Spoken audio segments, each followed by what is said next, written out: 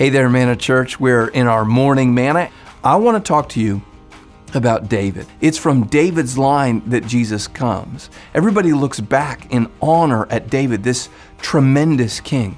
And he really does some crazy, awesome, wonderful, uh, amazing things. But also, he's got some pretty big foibles.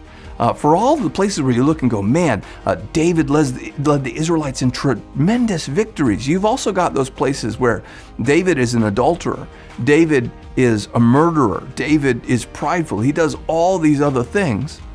And yet, David is so treasured in the Bible and so treasured by God. Let me turn, if you will, to 1 Samuel um, chapter 13. And so in 1 Samuel 13, God's actually talking uh, to Saul. And God's talking to Saul through Samuel the prophet, and he's letting Saul know, I'm going to take the kingdom from you. Verse 14 But now your kingdom shall not continue.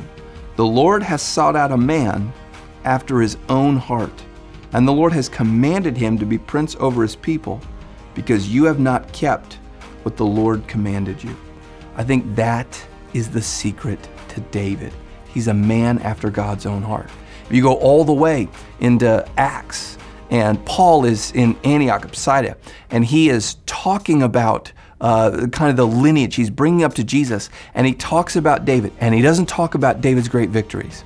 He doesn't talk about everything that David was. When he talks about David, he quotes 1 Samuel and says, This is a man after God's own heart. Here's what's interesting about this 1 Samuel 13 is before Samuel has ever seen David.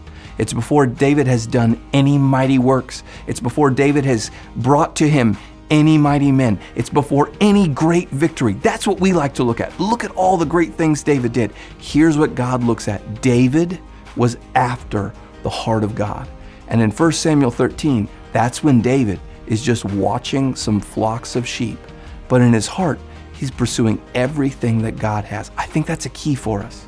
It's not about how many great things can I do for God. Um, well, I'll be I'll be after God's heart when He brings things to me, when I'm highly favored, when I reach this spot. No, David, all by himself, when he's alone, when he's a child, when it doesn't seem like anything is going for it, David's heart is to pursue God.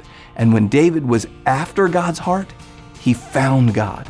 And because he found God, he walked with God, and God worked for him. God worked through him. He was always ready to repent and turn back to God. David was after God's heart. So here's my advice to you.